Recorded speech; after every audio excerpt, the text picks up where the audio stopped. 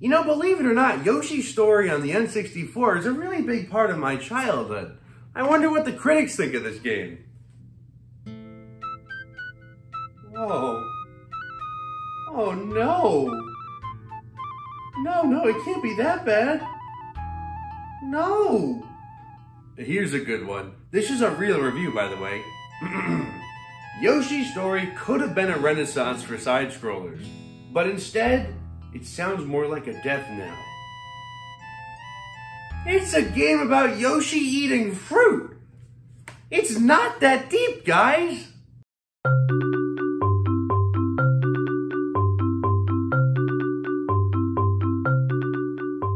In the late 1990s, Nintendo was developing the next game in the Yoshi franchise. It was originally set for the 64 DD, but was eventually moved to a cartridge.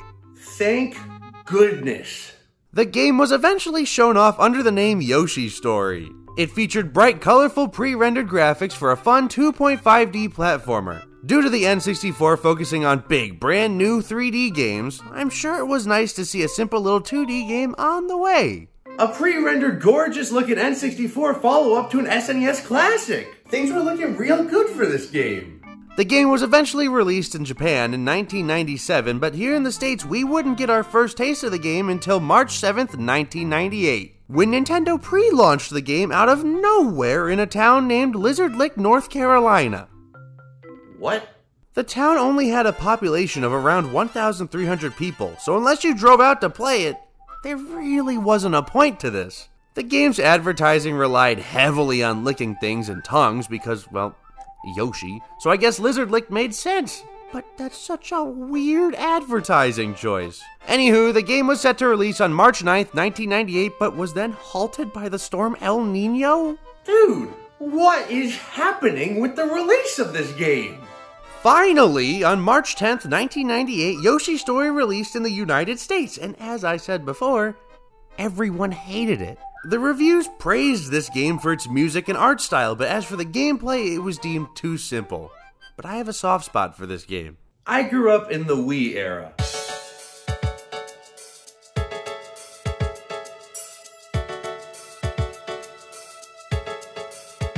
So, the game that really hooked me on the idea of gaming and led me to wanting more was Mario Kart Wii. And for a while, it felt like that was the first game I ever really played. But it's not.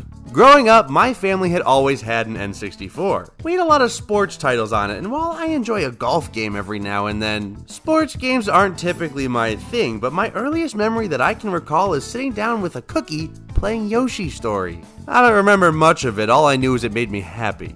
So forgive me if I'm a little biased, but this is the first game I ever played. So from what I remember as a kid, this game was great.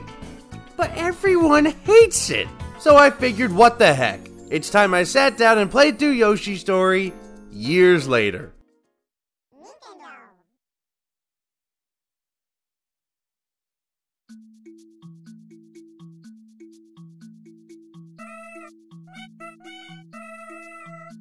I don't get it. How could you hate this?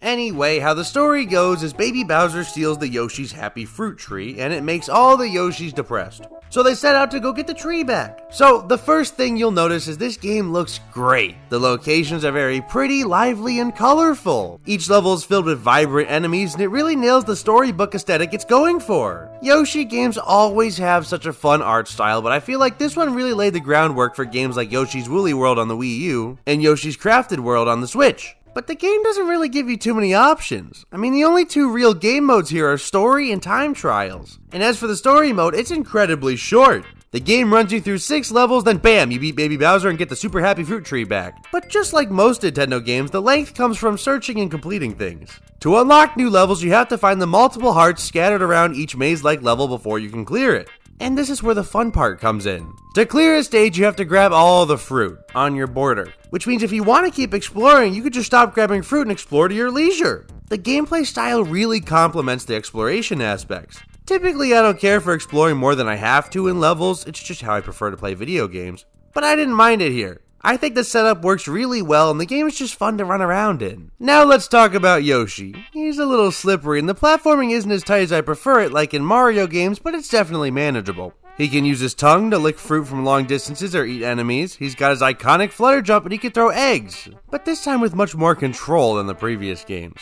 The game starts you off with a little group of Yoshis. You must complete the story with just these Yoshis. If they die, well,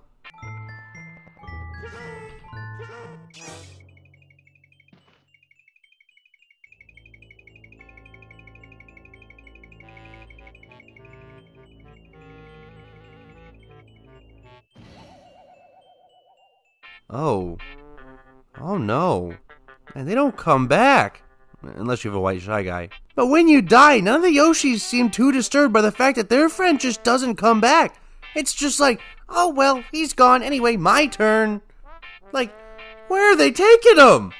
Don't put him in there! But as for Yoshi himself, this is my personal favorite design he's got a big head, and I think that works for his proportions better than his modern design. I might be biased to things with big heads because my head is massive, but I think his design is really solid here. Now, as I said before, the game has you collecting just enough fruit on the border to complete each level. And from the reviews I read, the common problem I saw was this game is way too easy. And I'm not gonna say it's not, this isn't a difficult game, nor is it a long game. But if you're expecting a sequel to Yoshi's Island, this is not that. If you're up for a relaxing, happy game, yeah, this is perfect for you. Once Yoshi collects all the fruit, the screen explodes with light to near blinding levels. Unless it's a boss battle, then the screen falls apart, which when I saw this as a kid, I thought this was the coolest transition. In reality, this is a two minute PowerPoint transition. But as for the boss battles, they're alright. Other than their designs, they aren't very memorable. And they're rather easy. I mean, Baby Bowser, the final boss, is super easy to defeat. Like, way easier than the rest of the game. And that's saying something. But that's not the game's biggest defense here. I think its biggest problem is why can't you use the N64 D pad?